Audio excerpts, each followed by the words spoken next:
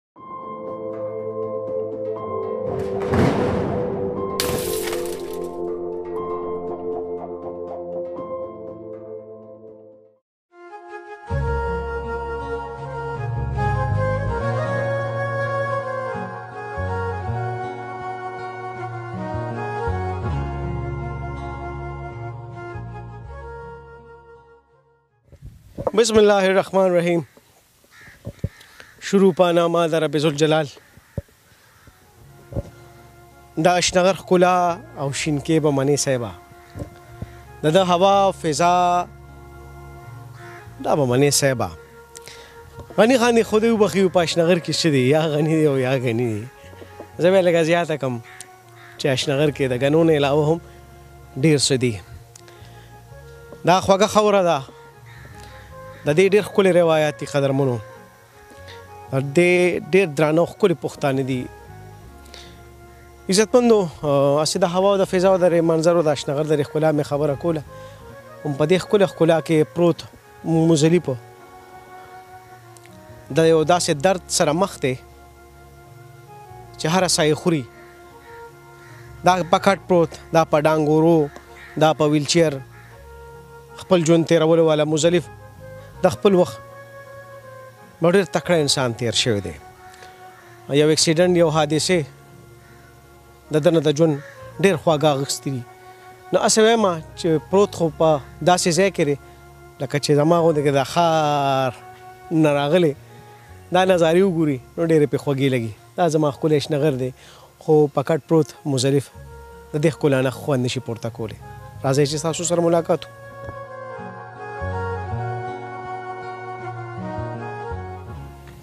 السلام علیکم ته څنګه طبیعت دې ښه دی خیر دی او السلام علیکم دا خوله کپ دا څوک دی وې وا وا جی وا وا جی وا وا جی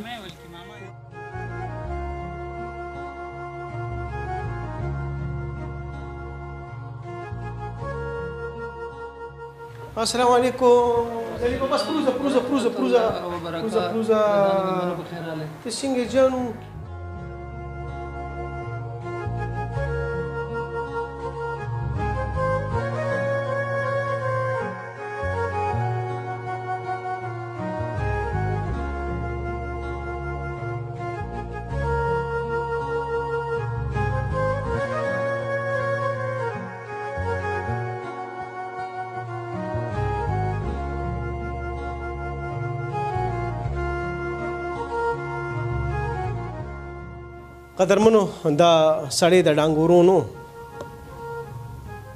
دا سړی د کټم نو دا د ویلچیر هم نو مزدلف ډېر ښکلی ژوند تېر کړی دی د ده د ژوند د یو څو لحظونه زه لږ با خبره هم یم. دا ډېر متحرک سړی تېر شوی دی. دا ډېر خدمتي سړی تېر شوی دی. دا د چم ګاونډ څه چې پردو له هم تللی دی او په تمبه ولاړ دی چې څه خدمت شته او که نه.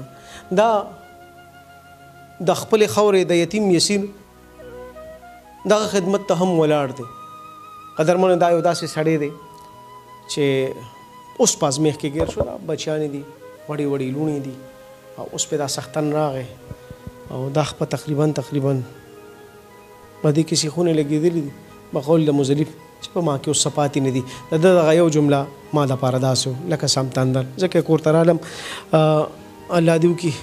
چې د سختن هم کم شي مزلي په سنګي خې جی طبيعت دې خې خې خې دا ګیره خوستا والله تور وا اوس نور دا سنګه زموږ سپینه شو برجی تکلیف مو کیو کنه تکلیف دی والله خه تکړه سړی مې کتلې په ایمان کې دا زه تا ته حیران شم چې دا د وخت کم ستم دی برجی ته خدای طرف نه زما په صبر دی د اکسیډنټ د اکسیډنټ جی غلطي د بلوا هغه موږ لراله چې دا خو زغد دی وړونه غلطي شوې ده هغه چې زمونږ نه زیات غریبانان مونږ ورته چې تاسو ته مونږ څه وویل لاړ شئ تاسو خپل مریضان سنبال کړئ او مونږ په خپل ځان سنبال کړو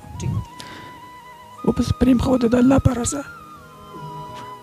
لکه چې هغه هم درک نه لګي دا بچنګ چې والا نه ساغستي غم مزدور کارو ښه ما څنګه دې معاف کچې زه معاف مې کو جی د الله پر رضا مې پرې خو مې راوس منل په الله راضي شي او مال د الله پاک د بلې ډډې نه راکې اوستا څه حالت ته پدې مې پوي کا چې زما حالت دغه دی چې زه د ګرځې دونه ما ویل چیر ما ته ولاړ دی خو زما څوک نشته چې ما بارو بس شي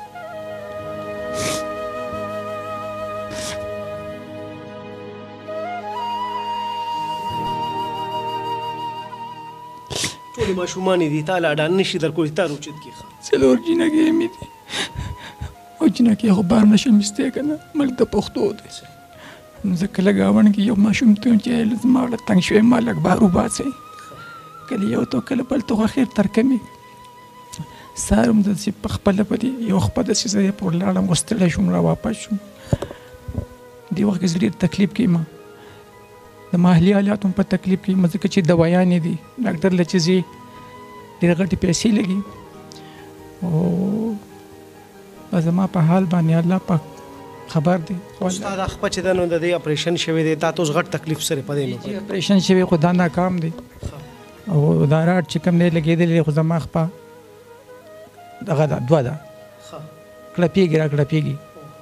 جی لا زما مات ته دا په دې وګه کې دنه مات ته ګولې کې مات ته ګولې سره دې کې مراد لګول خو هغه ویلې دي ډاکټر مې ویل چې دا دوه ډیر زیات خراب دي دې زې مارین علم اپریشن بدلو کوم نو د خپل واقع چې هغه څنګه ویلو چې دا ډیره خراب راځو اپریشن نه کوم به زمونږ نه ګوتو لګوله به وته مونږ ګوتو لګوله نه هغه اپریشن وکړو خو هغه چې زې مارین علم تعالی ګارانټی نه در کوم چې تبه ګرځي دا خبره ټیک ده چې زموږ خپل ځای جدا جدا پرته ده کنه صرف د سرمن راټینګ کړي ده د جیپا غراټ کې ځوړان ده د دې د منځ کې ډوکی نشته دی د چوری چوری شوی ده ما ته جی بیل شې دی چوری چوری بیل شې دی د مخ په چوری چوری د سپینه نه راځي د سپینه د منځ کې نشته ډوکی او بعد نو چې داسې یو ګوته په دې تاسو لګوي په لاندې به پر دا ما یو سي دا به زما کارو کې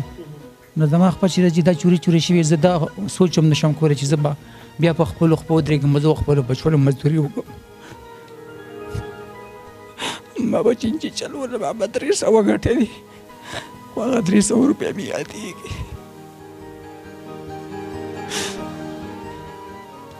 زه به نر سړی یاره زه خو ما ته پته چې د ډېر نر سړی دا ډیر دا ډیر دا ډیر مهنتي سړی پاتې دی قدرمنو او د دې زګه وایم د دې سړی د دې یوسف جان عثمان زه غواړي چې دا ډیر مهنتي سړی پاتې شوی دی دا دومره خدمتي سړی پاتې شوی دی چې ما سره ټکی نشته زه چې زه ته په دې حال باندې ګورم نو ما سره الفاظ نشته دا خپه کا خپه کار نه کوي لاس کار نه کوي کار نه کوي جی لاس هم کار نه کوي زما کار نه کوي زه په روټي اندې شم خړې نو دا ته چې اپریشن وغیرہ کې نو ستاده مالی اخراجات سو پوره کوي مزریب دا جی زما خورې دې خدای دې وسره ډیر خو کی دا دوه اپریشن دی هغه په پیسو شي وي دي خو جی تر کومه پورې باغی کوي هر سړی نن سبا چې په خپل خلکو کې ډوب دی تاسو نورم د علاج ضرورت شته اوس نورم د علاج ضرورت بالکل شته دی د علاج د پیسو په وجه زه نه شم وتی چې دا هسپتال ته لاړ شم ډاکټر له هغه ماته دوايي ولیکي او زه یې وخورم ما سره درک نه لري مزلب به تاسو د موبایل نمبر چې د نغلک مون سره شریک کړي جی زما د موبایل نمبر دی یو دی 0333 94 81 693 او بل نمبر دی 0306 580 اټسی نه وې د مزریف سلور لونه دي سلورې بچیان دي ضلع چارسده زیم په زیم کې شاخ نمبر چې د روډ د پاسه نو د کورکې د قدرمن دا چې کم ځای کې دی پروت دی دا د خپل کور نه دی بلکې خپل روډ دی کور ته راوستو چې دا هم پر دی دی او د چې کم کور کې الته اوس ډیر زیات را کوټه دغه هم پر دی دی نو ټول نه مخ کې خود زم خانانو ته چا پیر چلتا او بیا دا نمبر ښکاری چه چا هم څوک کول غواړی نو مزليب دغه نمبر حاضر دی کور ته راتلی شی ملاقات ورسره کولی شی لیدل کاته ورسره کولی شی دا یو کاکه به تاسو ته په کټ کی ښکاری قدرمنو ددی هم اپنډس اپریشن شوی دا هم د مزليب بای لور ده تاسو ته به ښکاری دغه بچیان دی او دا وړی وړی دی. او دا ټولې جینکې دي دا ټولې جینکې دي خداره تو مزلیب بای چې دا اپنډس اپریشن دام د دې ماشومې وشو دام جی د دې ماشومې وشو او اپنډس جی د دې خراب شوی او د دې واش شوی دی او غټ اپریشن شوی دی او دا جی بیا موږ چار سدي هسپتال ته لاړو نو نور دغه سرکاري وشو چې د اپریشن کوم سامان هغه موږ رواغستو بلکې هغه خوري مې رواغست ښه جیو صحیح دا راته ووایه چې دا ته خو ډېر مطلب متحرک سړی د منډو ترړ سړی د مزدورۍ سړی دا د څو میاشتو ته په کټ پروت یې ته چې دا هر څه ګورې مطلب دا چې ما ته خو پته لګي چې ته د سوال سړی خو نه ما ته خو پته لګي چې ته سره چندو سړی خو نه څه احساس دي څه دي سوچي مو ځلې دغه مې سوچ جي ويم چې خدای موږ په خېټه نه ناره ګنې موږ چاته نه شو ویلی چې موږ له وړه راوړو موږ باید ولږې مړه شو دغه خبره مې خپه کړي چې زه خو چاته ودرېدی نه شم چې ما له راکړي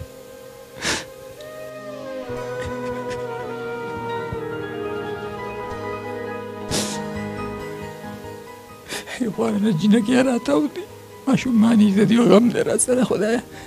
دا پر چا کوڅې ته ودرېږي چې موږ له راکوي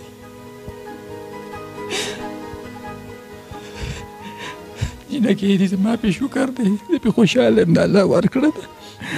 خو دغه ته خفه شم چې زه ورته پرېوتم او دې کې مرګ هم شته دی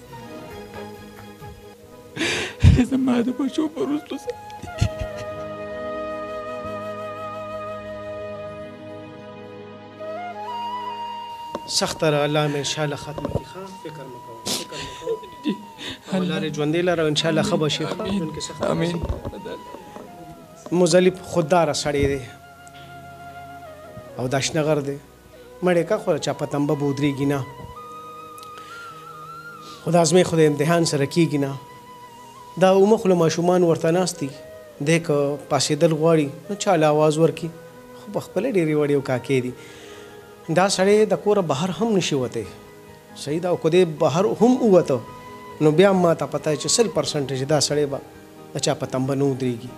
خدای دې څوک مجبوره کئ نه رب ذوالجلال دې د يو پښتون هم خودداري په دار کئ نه ستا خودداري به نه ختميږي صاحبه مزليپه دا نمبر مې دې ورکو تاسو سره به خلک رابطه کوي صحیح ښه جی ټیک شو ټیک چې خلک تاسو رابطه وکړي نو تا په شناختی کارت کې نوم څه دی مزلب شاه او د پلار نوم شیر افضل خان. قدرمنو تاسو د مزلب بای سره رابطه کولی شئ. دا د کاکو پلار دی صاحبه چرته چې کاکې وي زه په ویا ټولو مرګرو ته ویم ویم تاسو مبارکې واخلې چې تاسو ډېر مالدار یې ځکه چې ستاسو په کور کې کاکې دي نن په دې کور کې څلور کاکې د مزلیف دي خو دا امتحان دی او ازمېښت دی خدای دې په چا نه راولي او دعا کوم چې مظریف هم د دې ازمېښت نه وځي هغه تور سره ده هغه به ناست وي او د ده سلګو ته چې به ګوري هېڅ به نه وي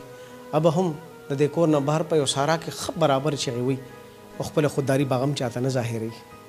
خدای دې نه کړي چې دغه خورکۍ دې هم